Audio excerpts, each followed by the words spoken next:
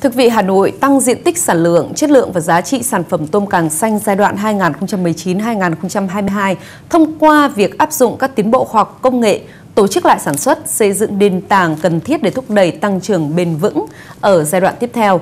Cùng với đó thì hình thành các vùng nuôi tôm càng xanh trên địa bàn của thành phố với tổng diện tích là 30 ha, sản lượng đạt trên 60 tấn.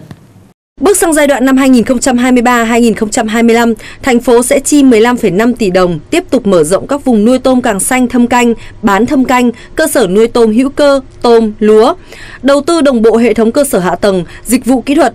Đến năm 2025, diện tích đưa vào nuôi tôm càng xanh đạt 50 ha, sản lượng đạt trên 80 tấn.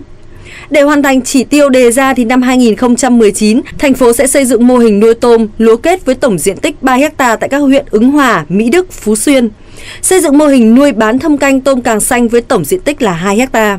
Năm 2020 sẽ xây dựng mô hình nuôi bán thâm canh tôm càng xanh với tổng diện tích 2 ha tại các huyện Phú Xuyên, Thanh Trì. Mô hình nuôi thâm canh tôm càng xanh với tổng diện tích 4 ha tại các huyện Ba Vì, Ứng Hòa.